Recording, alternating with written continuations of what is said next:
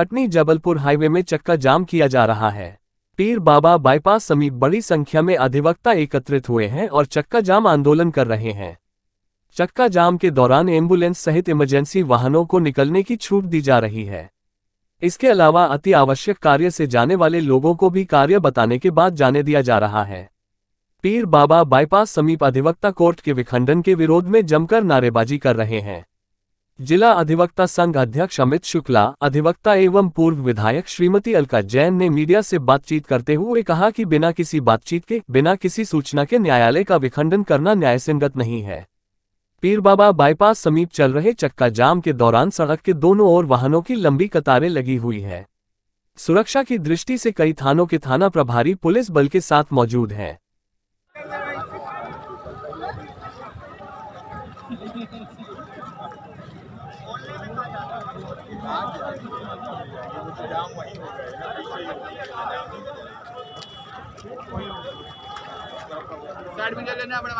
में जो वो न्यायालयों का विखंडन हो रहा है, पहले तहसीलों में न्यायालय खोले गए, इसके बाद जो बिजरावगढ़ में एडीजे कोर्ट खोला गया, उसके विरोध में लगभग 10 दिवस से हमारे अधिवक्ता संघ के समस्त सदस्य, जिसमें मैं भी शामिल हूँ, हम सब लोगों ने एक आंदोलन किया है। और आंदोलन इसलिए भी आवश्यक है, क्योंकि जब तक आंदोलन नहीं करो तो ऊपर वालों की कानों में जू नहीं रेंगती। पहले आप लोगों ने सुना होगा कि जबलपुर हाई कोर्ट का विखंडन होकर भोपाल जा रहा था, लेकिन जबलपुर के एडवोकेट की एकता ने यह कर दिखाया कि वह विखंडन नहीं हुआ और भोपाल हाई कोर्ट नहीं जा पाया शाखा उसकी। इसी तरह हम सब लोगों की कटनी में हम सब अधिवक्ता एक साथ हैं और इसका समर्थन करते हैं। कि यह न्यायालय बाहर नहीं जाना चाहिए, क्योंकि जितने भी यहाँ एडीजे कोर्ट हैं डीजे मात्र एक होता है एडीजे कोर्ट है, और यदि उनका एक का विखंडन हुआ तो धीरे धीरे सभी कोर्टों का होता रहेगा।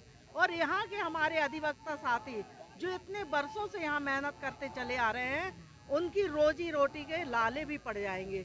इसलिए मैं पूर्णतः अधिवक्ता संघ को अपनी ओर से समर्थन करती हूँ और मैं ऊपर तक मांग करूँगी मुख्यमंत्री जी से और जो हाई कोर्ट के हमारे न्यायाधीश हैं, उनसे भी मांग करेंगे और यहाँ के प्रभारी के पास तक जाएँगे कि कम से कम एडीजे कोर्टों का न्याय विखंडन न करके कटनी में ही स्थापित रहने दें। क्योंकि बहुत दूरी नहीं है कोई भी तहसीलों की। हमेशा कटनी में ही न्यायालय चलते रहे हैं कटनी में ही चलना चाहिए। धन्यवाद। अगर शासन नहीं मानेगा तो आंदोलन निरंतर चलाएँगे आप लोग? चलाएँगे वो हमारे जिला अधिवक्ता संघ के अध्यक्ष हैं और जो पूरे पदाधिकारी हैं कमेटी जो तय करेगी हम सब लोग उसका साथ देंगे। अधिवक्ता दो हज़ार बाईस से सभी जिला अधिवक्ता संघ के सभी सदस्य लोग अपने अपने कार्य से विरत हैं। हम लोगों की जो मांगे हैं बहुत ही जायज़ हैं।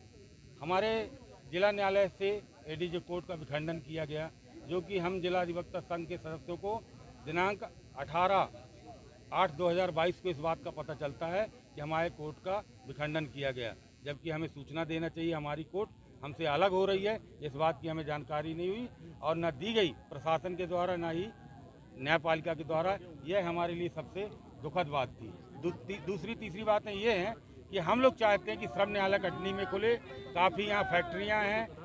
यहाँ पर रेलवे कोर्ट खोली जाए, औद्योगिक न्यायालय खोली जाए और अतिरिक्त कमिश्नर कोर्ट का यहाँ आगमन हो जाए, जिससे 10 साल के अंदर लगभग लगभग चार कोर्टें कटनी जिला से अलग हो चुकी हैं, जिसके लिए हम अधिवक्ता संघ के सभी सदस्य लोग बहुत ही परेशान हैं और इन सब बातों को लेकर के यहाँ आज रोड पर आकर के हम अपनी बात रख रहे हैं। हमें कई दिनों से हो गए अपनी बात रखते किसी प्रकार की न प्रशासन के द्वारा हमारी कोई सुनवाई नहीं हुई इसी बात को लेकर आज हम सड़क पर उतरे हैं। नहीं कई अधिवक्ता इसमें बोल रहे हैं कि एक भाजपा नेता के सारे पे सब किया जा रहा है। किसी भाजपा नेता के हम लोग जिला अधिवक्ता संघ के लोग किसी नेताओं के मुमताज़ मोहताज नहीं है। हम सभी अधिवक्ता अपने आप में नेता हैं परिपक्व है किसी के कहने पर हम लोग ये कार्य नहीं कर सकते। हमारे जिला अधिवक्ता संघ के सभी सदस्यों का जो निर्णय है वही निर्णय लिया गया है। विघटन जो विघटन जो हो रहा है आपके कोर्ट का देखिए न्यायिक न्यायिक कार्य को कोई भी विघटित नहीं करा सकता है। ये न्यायालय के द्वारा हुआ है। हमारी मांगे वहाँ से चल रही हैं। हमें उम्मीद है पूरी कि जल्द से जल्द ये पूरी होगी।